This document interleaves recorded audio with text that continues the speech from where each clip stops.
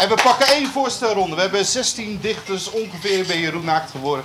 Een hele goede avond. Eh, Als je hier nooit bent geweest, je mail houden als er een dichter praat.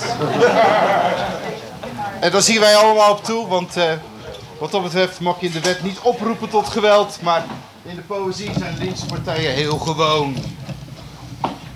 Alle dichters die ik eh, oproep gaan één kort gedicht laten horen in deze voorstelronde. Dat zijn de dichters die ik tot nu toe heb opgeschreven. Daarna komt er vast nog een voorstelronde. En blijf gewoon zitten of staan op de plaats waar je bent. Want dan zitten we allemaal, of staan we allemaal een keer vooraan. En we gaan als eerste luisteren naar Jan Wilsing. Dankjewel, dankjewel. Ik speel een beetje eh, vals, want het moet nieuw zijn. Eh, dit is de tweede keer dat ik het lees in een bewerking, dus het is voor mij opnieuw.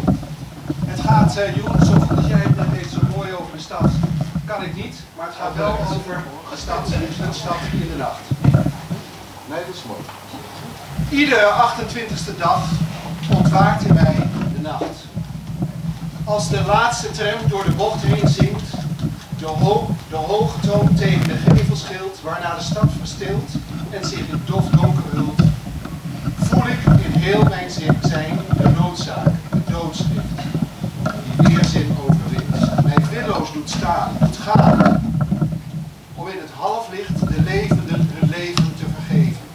Als ik mij opricht, mijn koude botten recht, geef ik gehoor aan die nood die mijn hart kloppen. Uit de schaduw maakt het nachtgebond zich los. Vult leegte. Gedoetjes van daders, klappen van klagers, eenzaamheid die wordt opgelost in een moment van willoze hitte. De kleine mens verwacht voor het lijden van de dag troost in deze nacht. Mist sluiert steegjes, schimt de stad.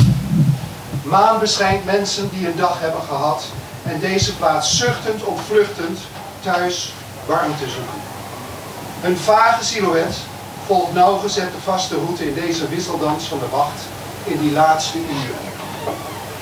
Het lage leven verkeelt in vrijgevallen ruimte tussen de oude muren. Ik, vastgezet in tussentijd, zwevend in oneindigheid, ben zonder wil, zonder doel. Zoek niet in goot, moei me niet met handel en wandel. Ben geen deel van wat daar gaande is. Ongezien ga ik, ongehoord. Nee, mijn voetstap klinkt niet in de straat. Maan gunt mij geen schaduw als ze hoog boven de stad gaat. Sinds ik werd wat ik nu ben, schuldeloos gevangen, zweef ik in onzekerheid. Overdag in duister dood, fluister ik bij maanlicht een half leven in. Glij langs gevels, vind wat onomwonden wil gevonden. Mijn ogen diep weggeworpen, zoeken het onbloedbare zoet. Het liefste wil ik geven, maar hier neem ik wat moed. Elke dag weer zie ik haar, vrolijk, vol levenslust. Ze is onschuldig, nog zo jong, zich van geen kwaad bewust. Elke nacht zie ik onder haar haar, haar blanke hals, haar schoonheid, haar toekomst. Vol verlangen voel ik me dan zo vals. Met mijn liefde vang ik haar. Maar maak kapot waar ik van hou. Hoe kan ik zo zijn? Waarom wil ik dit van elke vrouw? Voordat zij haar bed inglijdt, toont zij zich, zoekt mij in mijn schaduw.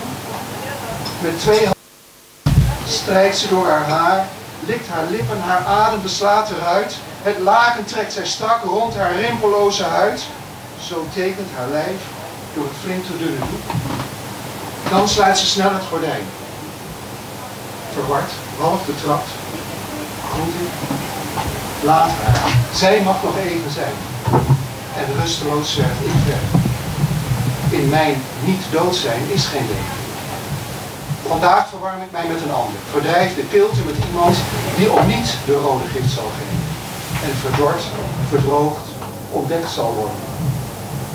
27 dagen zullen treurzangen klinken. Zal men daders zoeken, angst bedwingen.